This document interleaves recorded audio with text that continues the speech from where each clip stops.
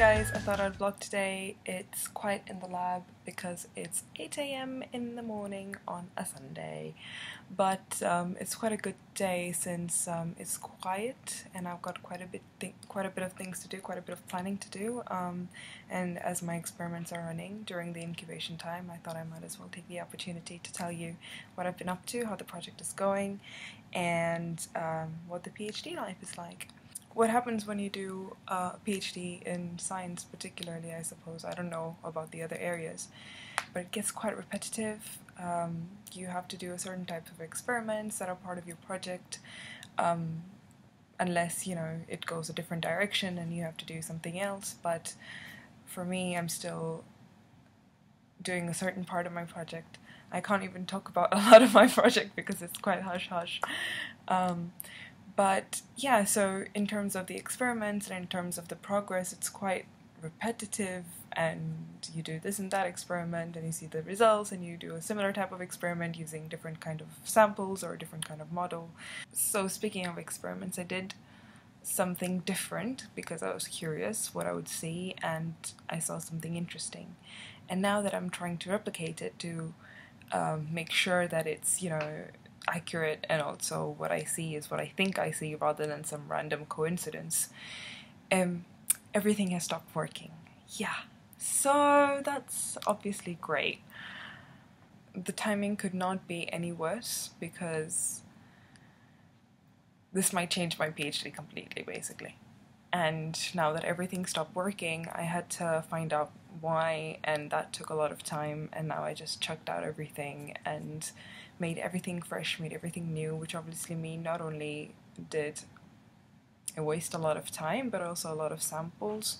And I have to repeat everything again. So that's basically at least a month and a half, two months of work gone. The best thing I can do now is just, as I said, start fresh, repeat everything, um, and find out why things are not working and just try to move on um, so that I still can continue to progress in my PhD. Um, another quite important thing is that in a couple of months I will have my second TAC meeting, that is the Thesis Advisory Committee meeting. So I've got a I've got a plan. I had a plan where I wanted to show certain things um, for the meeting, uh, so that I, I so that I would basically have certain amount of data and particular type of data to show. Um, yeah, but that's not gonna happen now, which is again a shame because you know it's all only once a year and you want to make the most out of these meetings. Besides things not working at all, it's it's quite um, it's quite a stressful period for me at the moment. Um, there are a lot of important experiments uh, that are ending, so a lot of depending on what kind of model you use. Uh, certain experiments can take up to a few months. And um, for me, that is going to start next week. So my first time period to kind of stop and see what's happening is next week. Um, so yeah, that that'll that'll be like hopefully no more than twelve hour long days.